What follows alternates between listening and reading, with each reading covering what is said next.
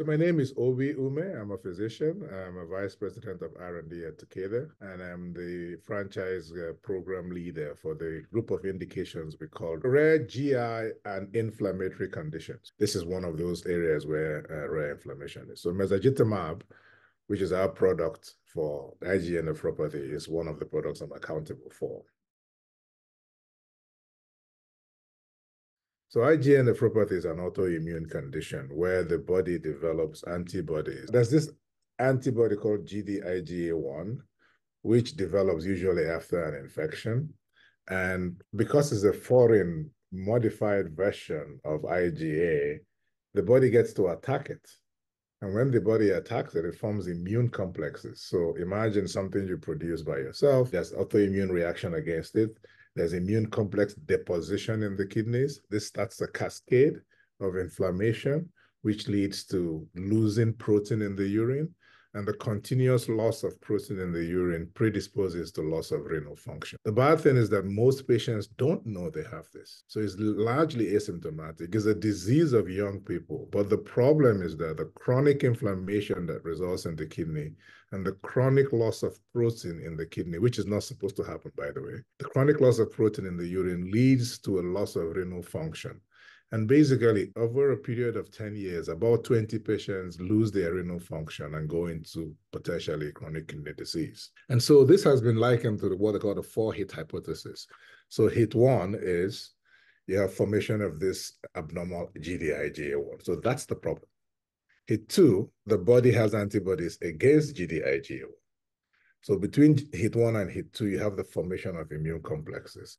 Step three, the immune complexes get deposited on the renal parenchyma, the cells of the kidney. This is hit three.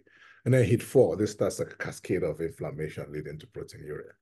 And so you can divide the therapies into those that affect hit one and hit two, which is the source of the problem, and those that affect hit three and hit four, which is mainly try to mitigate the problem. Think of it as fire prevention versus firefighting. So most of the agents that are available today, they operate at hit three and hit four, actually hit four for the most part.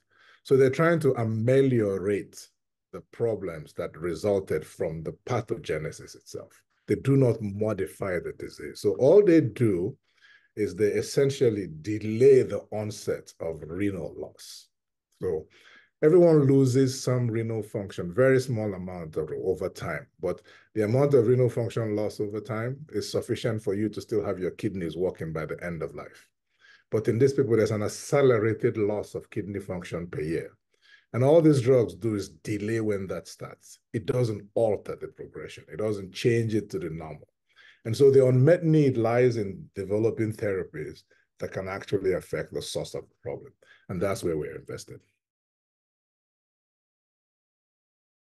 So our drug is called mezagitamab. So it is an antibody, right? An antibody that attacks cells that have CD38 on their cell surface. CD38 is a glycoprotein marker that is on some cell surfaces. Now, the good news is that this, this CD38 makes it selective. So it won't kill cells that don't have CD38, right? And it so happens that this abnormal IG, IgD, IgA1, the, the hit one, and the IgA and IgG that our body makes to attack foreigners also have Gd-IgA1. The plasma cells that produce them have Gd-IgA1 on their cell surface. So basically, we go to the production, the factory, not the antibodies themselves. The antibodies are made by something called plasma cells.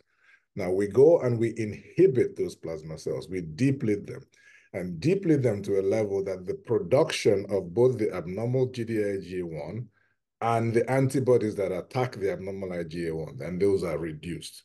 And by so doing, that autoimmune effect, we abolish hit one and hit two, maybe not abolish, but significantly reduce hit one and hit two, which has the downstream effects of shutting down the inflammation, shutting down the loss of protein in the urine, and hopefully translating to preservation of kidney function. So if the theory is correct, if you inhibit the production of these antibodies, you should see a of, of these plasma cells, you should see a reduction in the level of antibodies. and you should see a reduction in proteinuria, which is a consequence of the inflammation. And over a period of months to years, you should see a stabilization of kidney function. So that was the theory. That was what the drug was supposed to do. Basically, we had a, a cycle of treatment that comprised eight weekly doses of our drug, followed by eight biweekly doses of our drug. So over a 24-week period, the patients received 16 doses subcutaneously. First of all, it was safe and well tolerated because this is an early phase study, so safety is important. It was safe and well tolerated. Nobody discontinued the drug. We had 17 patients on the study. All of them completed the study. And we had a rapid and sustained decrease in Gd-IgA1 to up to 60%, IgA up to 70%, and IgG up to 40%. So the three implicated agents, hit one, Gd-IgA1, 62%, hit two, IgA, 70%, IgG, 30 to 40%. So we the, the biology worked because we decreased this immunoglobulin. So the question next was, what happened to proteinuria? Well, we reduced proteinuria from a level above 1.5 grams at a 54% mean reduction. So about half of the proteinuria that was happening was decreased. And over a period of 36 weeks, we did not delay the progression, the, the loss of renal function, we stabilized it. So you, if you look at the graph, if this is year one and this is year three, the graph goes down that way. Other drugs try to bring it a little bit a little bit further away, so it takes a little more time to go down. We kept it flat. Now I'll tell you something else that was interesting about our results. So we did uh, what we wanted to do. We reduced plasma cells, we reduced immunoglobulins, we reduced proteinuria, and we preserved GFR. But importantly, we did this even after we had stopped our therapy. The therapy was stopped at week 22. The results I'm presenting to you were from week 36. So there was at least a 14-week period in which there was no drug on board. And that's the unique ability of mezagitamab. That's why we think we're going to be differentiated. We can do what others may claim they can do, but we can do that even when our therapy is not in place. Now, the results that were presented were from week 36, but as you can imagine, the study is ongoing. So we're collecting more data, and we may be able to show this data later on, which would be really impressive if this trend continues off therapy. So, so that was that was Kidney Week, and I think it was very well received. Uh, this is our next our next activity. We're going to go to the FDA with the protocol we think is innovative and that which we think, based on these very encouraging results, has the potential to bring a therapy that's differentiated. So obviously, this is what we're going to do. But again, the beauty of this product is the is the potential to use it in more than one indication, right? So what we do to the immune system is predictable. We deplete labeled plasma cells, so we are selective. We're not a non-specific blocker. You need your plasma cells. I need my plasma cells. I need my immunoglobulin. So I do not want to reduce all of them. And I do not want to reduce the memory cells, which are important for vaccination, for instance, right? So, so I want a drug that can eliminate the part of my immune system that's working against me, or at least reduce the function, but as well leave me with some function to fight infection. So one of the characteristics of B cell mediators or agents that reduce the production of immunoglobulin is the, is the causation of infection. What we saw in our study was infection to the same degree as the normal population would have. There were no grade three infections in that study. And so this was a good thing that we actually wanted. So the selectivity does work. But beyond that, we've also seen that the way mezagitamab works is predictable all the time, despite different indications. And we can leverage this to have what we call a pipeline on a product. Because we know what it does, we just need to understand how diseases work and whether our mechanism can be applied to that disease.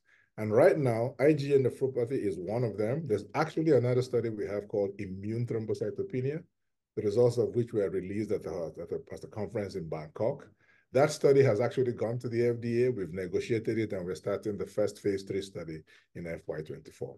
And, and we're still we're actively, as I speak to you, exploring other indications where we can deploy this mechanism for the betterment of patients. We're very excited about the potential of these assets. We think that IgAN is an unmet need, unmet need disease that is looking for options. We think our drug has the potential to deliver some of uh, what we call a innovative, potentially transformative solution in this condition. And also, we're very excited about the product and its potential in other indications. So stay tuned.